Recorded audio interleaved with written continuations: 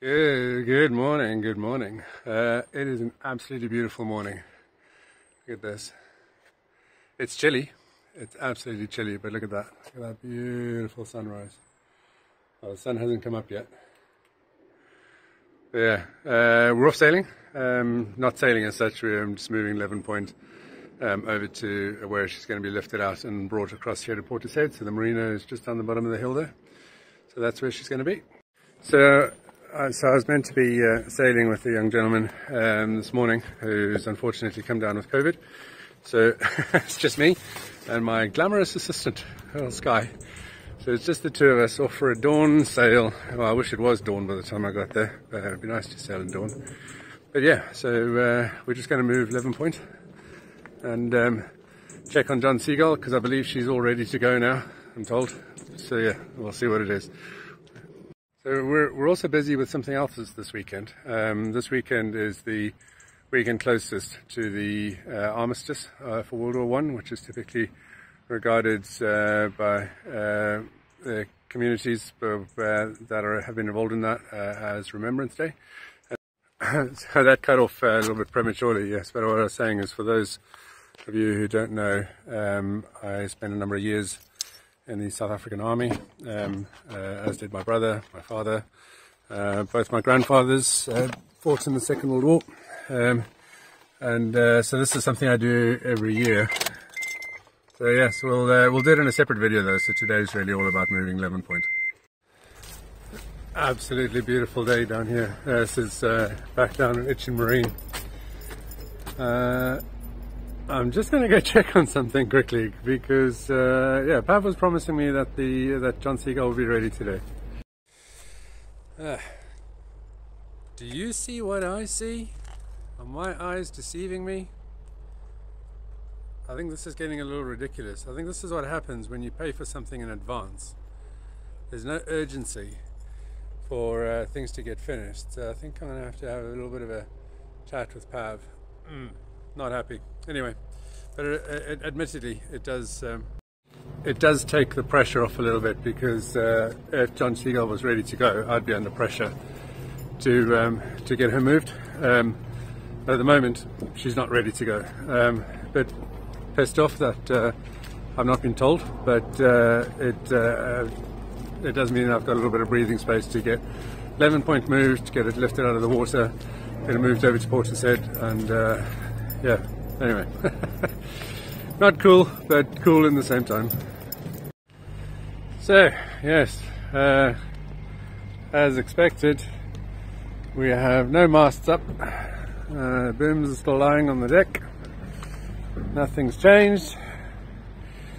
And uh, there is poor old John Seagull. Still not ready to go. But c'est la vie, right? So at least I know, however, when I come in later on, the tide will be going out. It's spring tide today, so the tide will be going out pretty quickly. But um, at least I know that I can raft up against uh, John Seagull. Um, yeah, I think I'll raft up against John Seagull. I'll need to make sure that I've got access to the cleats and blah blah blah. Yep. All right then. So there we go. So what I want, there we go, is exactly what I've got. Is I've essentially got both of them on the starboard, on the port side. And if I cast off, I can just let the, the line run away from me and, uh, and motor away. I freaking hate these things. I'm not doing this again. Hey. Hey, what's up, girl? hey, what are we doing? Hey? Hello, Sky. You want to go to land? You had a good walk this morning, that's for sure. All right. Bye, Sky. Right, here we are. So uh, uh, we're releasing in a sec, got the engine on, uh, and we're going to head off. Uh, video quality might not be great at this point. Um, I've stupidly left my normal camera uh, on the on John Seagull, um, but me and young Sky, there she, there she is, are going to slip in a sec, and we're heading off. Uh, so yeah, so Leven Point, uh, Westerly Berwick, uh, 31 foot, used to be a ketch, what still is kind of a ketch at the moment, but the mizzen's coming down, we're changing it to a sloop with a bit of a uh, boomless rig. Um, so I've got a reel about that, but uh, yeah, that's what we're doing. So if you've got, if you're thinking about one of these um, uh, fore and aft moorings. So this one's got a mooring ball there, plus it's got a mooring ball at the back, so which means that obviously the boat doesn't swing. So if you're thinking about one of these in the future, top tip, right? Think really carefully about uh, what the boat's going to do because we got the tide going out. So obviously I can't slip the, the bow first. I have to slip the stern first and then play with the rudder. But the big thing is this this this line here. Keep that on the boat for as long as you can because uh, that managed to get in underneath my keel um, uh, at one point. point, and I sort of sat and waited, and I was pushing with the boat hook and stuff whilst I was trying to get rid of it. So keep that on the boat for as long as you can. Did I say that I hate that? I freaking hate that. Because today, of all days, I can't afford to get that wrong. Um, the boat did exactly what I wanted it to, but it's not half nervous, I would say. You know, I freaking hate it. So yeah, definitely not a fan of a trot mooring. Um, swing mooring, um, absolutely no problem. Uh, trot mooring, can't stand it.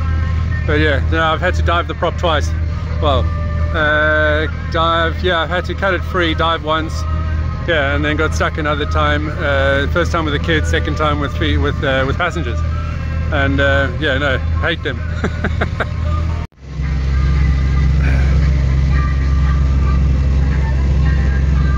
it's a lovely day. It is really. It's chilly. It's chilly. I was uh, I was expecting wall to wall sunshine for the whole day, but um, it's not lasted. Um, the uh, clouds have definitely come over. Tomorrow is going to be cold and slightly damp.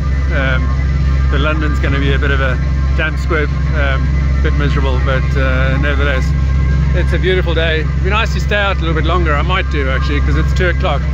Um, I only really need to be back in Southampton at, uh, four, so I've got an option either kind of get back and get rafted up against John Seagull and then uh, relax and do some boat work and what have you. A, i might do that actually.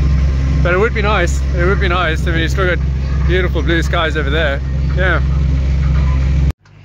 It feels like today's all about me. I just want to be in the camera the whole time. Uh, anyway, we're uh, moored up. Uh, I've got my dock line, the green one, goes across to the dock, uh, and then uh, the um, my bow line goes to John Seagull stern. Um, I've got uh, spring fore and aft, and then I've just got a single stern line for me going to John Seagull's bow.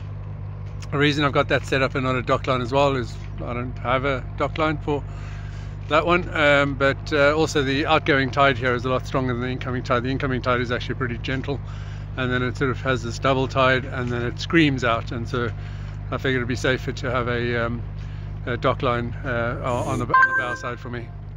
Uh, but yeah so all good. We're all rafted up and uh, ready to go lock the boat up and uh, all done and dusted. We'll be back on Monday definitely got chillier. But anyway, I don't know if you can see that. There's a uh, cruise ship just there, and uh, it's uh, it's kind of something that I, I, guess I had in my head from when I was a kid. That uh, you know the places that cruise ships come to and where they leave from is always very glamorous, and you got these pictures of streamers and you know fireworks almost going off when the when the cruise ships depart. You know, if, uh, if you remember that movie, the, the series in the 80s called Love Boat. But anyway, yeah, that's what it was. But anyway, and uh, I was always kind of slightly disappointed here in the UK that none of the cruise ships actually left from anywhere nearly glamorous, right? It was always, uh, every, all, all, the places I've seen in the UK are pretty much fairly industrial docks. Uh, uh, Lisbon, however, is absolutely beautiful. The, the, the, week that we spent there and I went into, into town, it's absolutely stunning the waterfront area is beautiful you know beautiful paved big flagstones wonderful uh, place you know it's right on the edge of the city the, the, the, main sort of commercial city but right in the heart of the of the old historic city. And it's, it's a real sh shame that uh, when you come to the UK you don't arrive at a place that's absolutely beautiful. You arrive at a place that's like a big it's like an industrial harbour. Um, whereas uh, Lisbon has obviously made an effort to make sure that people arriving into Lisbon arrive into an absolutely beautiful uh, Portuguese city. Yeah, anyway, there we go. Yeah, worth visiting uh, Lisbon. I'm a big fan now. Um, right, there we go. Gosh, it's an interesting view. So I'm back on the normal camera so I can uh, not be the center of attention all the time. So, um, yeah, she uh, looks a lot smaller my first boat was 22 foot and then I went to 26 foot and then 31 foot and I remember thinking shit the 26 footer is big and then I went to the 31 footer, this one, uh, 11 points, and I thought, oh shit, this is big. And then, uh, yeah, and then we come to John Seagull. It's a totally different kettle of fish. Um, and she's big. She's a big boat for a 42 footer. She's actually pretty big. She's super beamy. She's super tall. Um, uh, I wonder what an Amel um, uh, would feel like. like Delos's boat. Delos is the boat. Um, but yeah, so there she is. Leven Point. Uh, next time we'll see you Monday morning and uh, being lifted out, jet washed. Well, first you have the, the, the masts unstepped uh, lifted out, jet washed, loaded on a lorry and taken over to Portishead. There we go. So it's just dawned on me that um, this is the first time, and probably the only time um, uh, in the foreseeable future, that the two boats that uh, we have for sailing Sibongile stroke sailing with the Wera um, are actually side by side. Um, this is the first time that I've actually brought them um, side by side, uh, even though that they, they've, they've, actually both been relatively close to each other. The one's in Poole and the other one's on the Hamble. Uh, this is the first time that they're side by side. Let's see if I can get a nice aerial picture. I don't know if that works. I don't know if you can hear me. yeah, there we go. The two boats. I hope that worked. Let's see if it works this way. This is uh, doing the super selfie thing. oh, yeah, not sure about that. Hey, Sky. Sky. Hey. Southampton football stadium is just down there and they're having uh, some kind of match. They've obviously scored. All hell broke loose a second ago. Uh, so I've just spoken to Pav and um, uh, he has said that they're actually planning to start work on the uh, restepping the mast from uh, from tomorrow. So not tomorrow, sorry, Monday. So um, they're going to restep the mast, um, the main mast on Monday, and then he wants to do some work on the mizzen, and that's going to get restepped on Thursday.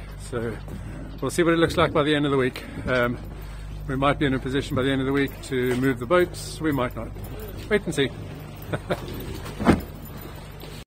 so um, I hope you guys are enjoying these videos. Um, it doesn't come naturally to me, in spite of what some people have said. But um, yeah, uh, share them, like, subscribe, um, come sailing with me. Um, most of all, you know, look after your happiness, look after the people around you, and uh, winter's coming. Yeah, it's going to be important that we look after ourselves. All right, see you next. Uh, actually, I've got another video for you tomorrow, but uh, not sailing and something else. Anyway, uh, we will um, see you tomorrow.